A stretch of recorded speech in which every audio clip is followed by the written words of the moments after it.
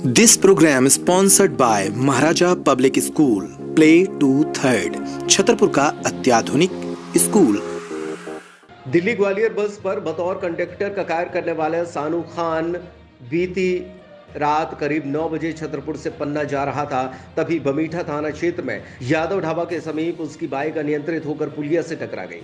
इस दुर्घटना में सोनू गंभीर रूप से घायल हो गया।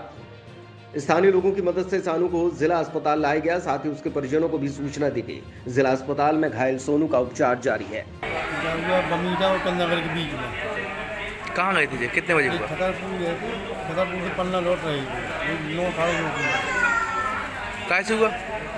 पुलिया उलिया में टकरा हुआ